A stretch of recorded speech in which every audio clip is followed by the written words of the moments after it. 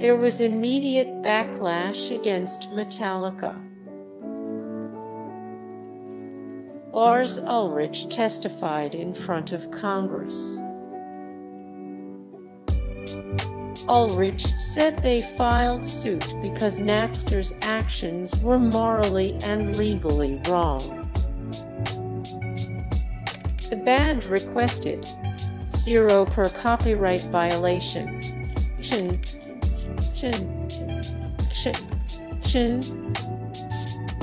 The band requested zero per copyright violation. Shin, shin, shin, shin.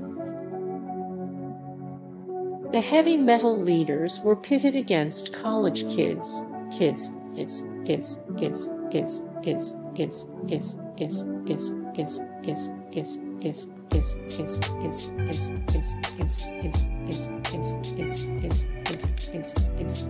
Hey guys, thank you so much for the support and likes and comments down below and also thank you so much for watching and I look forward to see you in the next video then. Take care. Bye.